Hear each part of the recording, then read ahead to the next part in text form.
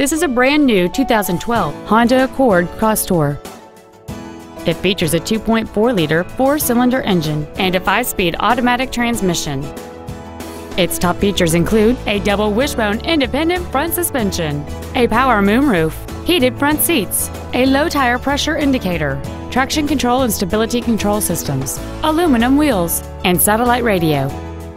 The following features are also included memory settings for the seat's positions so you can recall your favorite alignment with the push of one button, air vents for rear seated passengers, heated side view mirrors, a premium audio system, leather seats, an electronic throttle, a passenger side vanity mirror, halogen headlights, a HomeLink feature, and cruise control.